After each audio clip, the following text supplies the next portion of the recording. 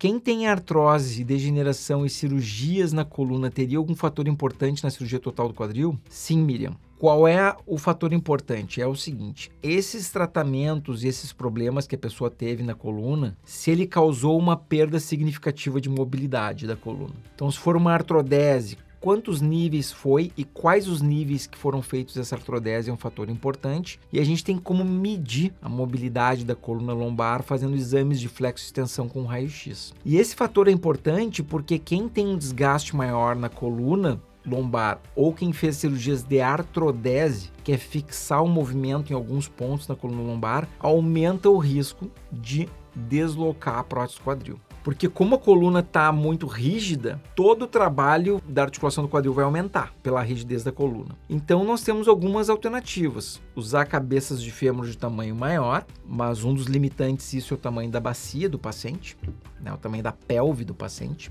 É um dos limitantes, não dá para botar tamanho infinito de tamanho da cabeça do fêmur, depende da anatomia do paciente. Outra estratégia é utilizarmos implantes que são chamados de dupla mobilidade e alguns truques extras, que é um ganho de offset, um tensionamento muscular, tem alguns truques extras que podem ser feitos.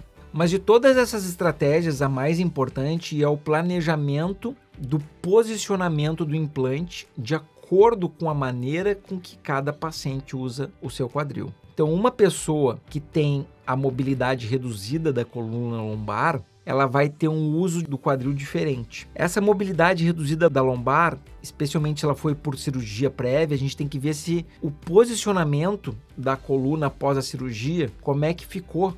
Se o paciente ficou com uma lordose normal, fisiológica, que é aquela curvinha, se o paciente ficou com a lordose retificada, uma retificação da lordose, ou se ele ficou com uma lordose acentuada. Esses fatores vão ajudar o médico a planejar a colocação da posição do implante. E algumas vezes pode ser necessário, inclusive, planejamento por robótica para diminuir ainda mais esse risco quando necessário. Certo, Miriam? Então, qual que é o meu recado para ajudar a Miriam aqui? Comenta isso com o teu cirurgião de quadril, diz assim, ó, oh, doutor, ouvi dizer, não precisa nem falar do meu vídeo, tá, para não ter problema. Ouvi dizer que quem tem problema na lombar pode ter um risco aumentado de deslocar a prótese quais as estratégias que a gente pode fazer para esse risco diminuir? Porque essa conversa vai ser importante. Então, essa seria a minha dica aí para ajudar a manter esse risco baixinho. Não quer dizer que vá acontecer, né, Miriam? Calma o coração aí. Já que a gente identificou que tem um risco maior, vamos precaver. Não quer dizer que vai acontecer. Quem não assistiu ainda, olha hoje está o vídeo lá no ar, que é sobre deslocamento, luxação e desencaixe da prótese. Então as próteses hoje estão muito seguras quanto à luxação.